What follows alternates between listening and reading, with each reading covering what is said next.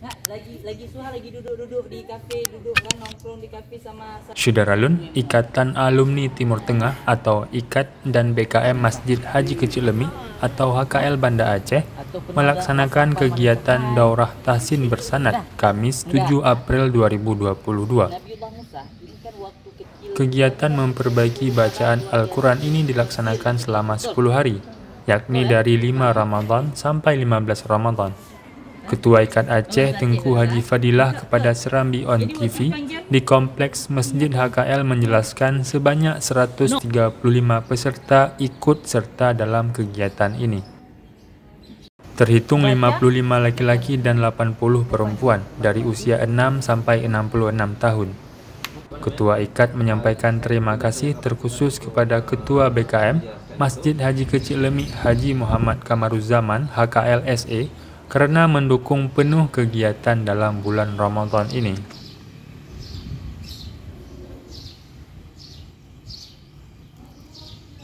Ia juga berharap setelah kegiatan selesai, para peserta mampu membaca Al-Quran dengan lebih baik.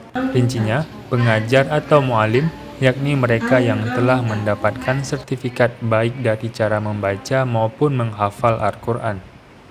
Mualim ini merupakan mereka yang pernah belajar dari guru-guru di Al-Azhar atau di Timur Tengah pada umumnya. Terakhir, Ketua Ikat Aceh berharap kegiatan ini mendapatkan keberkahan sehingga para peserta lebih dekat dengan Al-Quran dan bisa membaca Al-Quran dengan lebih baik dan lebih benar. Bismillahirrahmanirrahim. Assalamualaikum warahmatullahi wabarakatuh. Alhamdulillah pada hari yang mulia ini tim Tahsin Ikat menyelenggarakan kegiatan daurah Tahsin bersanad bekerjasama dengan BKM Masjid Haji Kecil Lemi. Jadi kegiatan yang kita selenggarakan ini itu selama 10 hari dimulai dari 5 Ramadan sampai dengan 15 Ramadan. Nah insya Allah uh, kegiatan yang kita selenggarakan ini adalah tujuannya untuk memperbaiki setiap bacaan para peserta yang bacaannya masih banyak terdapat kesalahan-kesalahan ya, ataupun bacaannya masih jauh dari sempurna ataupun tajwidnya juga masih kurang sempurna. Nah, target yang kita inginkan adalah uh, setelah selesai kegiatan dari yang kita laksanakan di sini, para peserta mampu membaca Al-Quran menjadi lebih baik. Nah, jadi yang uh, awalnya mereka terbalik di dalam mengucapkan huruf, nah dengan mengikuti kegiatan ini mereka akhirnya bisa mengetahui mana huruf-huruf yang benar, bagaimana cara penghafalannya, bagaimana cara pengucapannya. Nah, uh, kita di sini menghadirkan para muallim ataupun para pengajar yang sudah mendapatkan sertifikat uh, Al-Qur'an baik secara bacaan ataupun secara hafalan.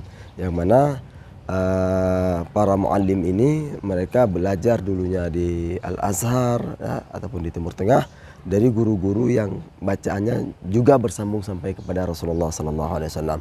Maka insyaallah kita berharap kegiatan yang kita selenggarakan ini bisa mendapatkan berkah yang pertama daripada Allah Subhanahu wa taala. Kemudian uh, kita berharap juga seluruh peserta yang hadir dan mengikuti kegiatan ini mereka mampu membaca Al-Qur'an menjadi lebih baik. Ya, jadi kalau misalkan uh, terdapat kesalahan pada uh, awalnya sebelum mereka mengikuti kegiatan ini, nah setelah ikut mereka sudah tahu bagaimana bacaan yang benarnya. Nah, mudah-mudahan uh, kegiatan yang kita selenggarakan ini bekerjasama dengan BKM Masjid Haji Kecil Lemi ya, mendapatkan ridha Allah Subhanahu wa taala dan kita juga berterima kasih kepada BKM Masjid Haji Kecil Lemi terutama kepada Tengku Haji Muhammad Kamur Zaman yang telah mendukung secara penuh ya mendukung acara ini secara penuh dari segi fasilitas tempat dan lain-lainnya jadi semuanya diberikan secara gratis. Semoga Allah Subhanahu wa taala mencurahkan rahmat kepada beliau dan membalas semua kebaikan beliau dengan syurganya. Amin ya rabbal alamin. Wassalamualaikum warahmatullahi wabarakatuh.